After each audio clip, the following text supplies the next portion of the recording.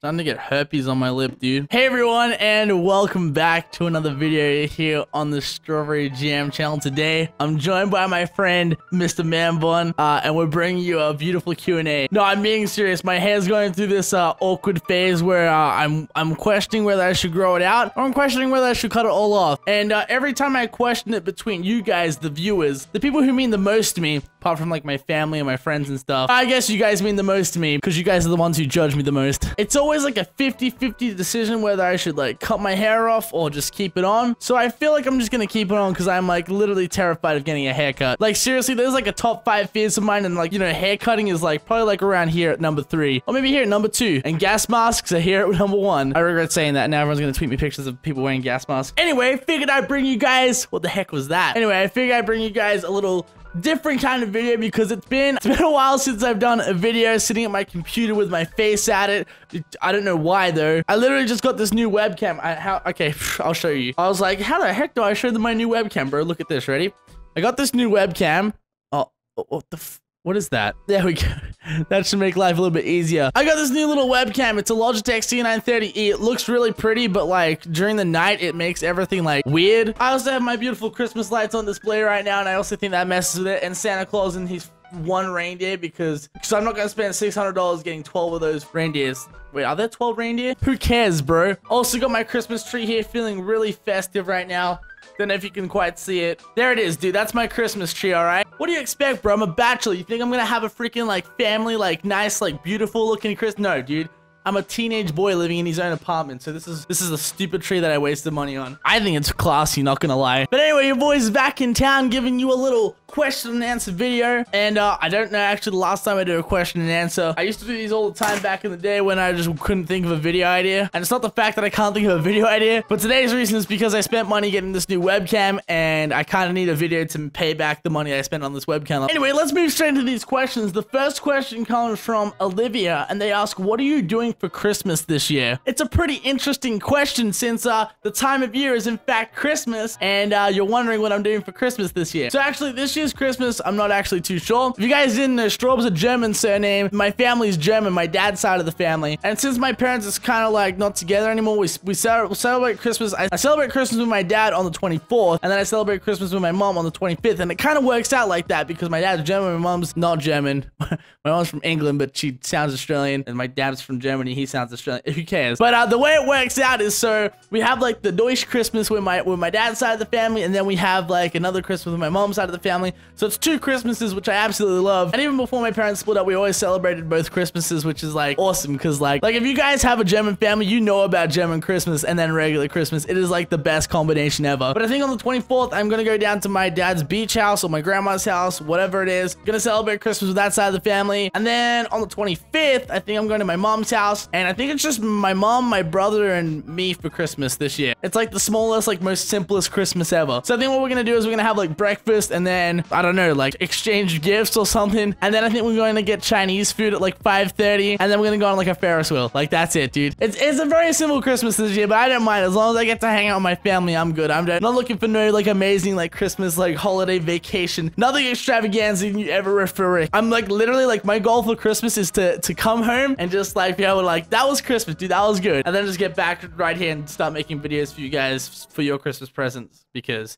this is all I can like really give. Next question comes from Logan. They ask if you could date any celebrity, who would it be? Oh, dude, Logan, this is a tough choice. We're stuck between like Jennifer Aniston and like Taylor Swift. You know, is it bad that I sort of lean towards Taylor Swift a little bit more because she has a Twitter? Like Jennifer Aniston, like, girl, where's your freaking Twitter, bro? Like, are you serious? How the heck am I supposed to send you like creepy fan tweets without you having a Twitter? Anyway, nonetheless, I think the the, the, the short story behind it is Jennifer Aniston, you are beautiful, but you are in fact like three times my age. Maybe if Jennifer Aniston somehow went into like a Wayback Machine and like turn into like her 1990 self where she was like in her 20s. Actually, was she in her 20s in the 90s? Anyway, who cares? Like the Jennifer Aniston from Friends. Maybe she could turn back into that one to the good old days. But I feel like I'm sticking with Taylor Swift. Wait, was, was this one Taylor Swift?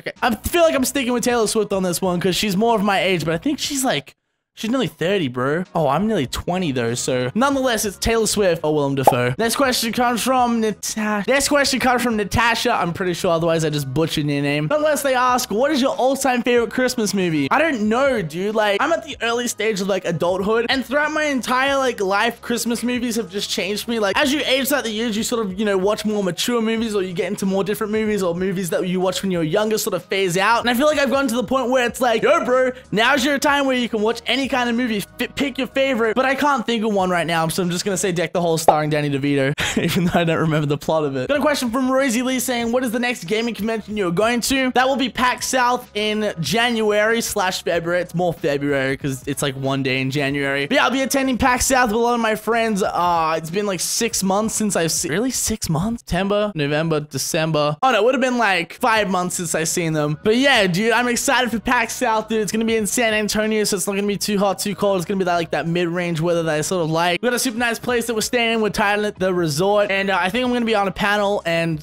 some other stuff. I don't know. Ha! Is it bad that every time I think of just like traveling and conventions and stuff, it literally like I feel like I'm losing my head. I feel like my eyebrows are gonna fall out, dude. Get I get a little bit too stressed about it, bro. Like let's Come on, dude. Oh, all I can think about right now is dating Taylor Swift, bro. That would be cool. Maybe she could shout out my YouTube channel. Now she'll probably break up with me and write a song about me. Next question comes from Hugh and they ask, can you please play WWE 2K16? Maybe create Straub Cena and give him John Cena's moves and entrance. Honestly, that could like easily happen. If you guys want to see that as a thing, I don't know, like like the video or something. I have WWE 2K15 on my PC, but like literally like, like I have like no idea how to play it, bro. Like I played it once and I got absolutely like bummed, dude. Like it was, no, it was not a good time. I used to be really good at wrestling games, bro. Like I used to create my own like wrestlers and freaking like just wreck them on like legendary.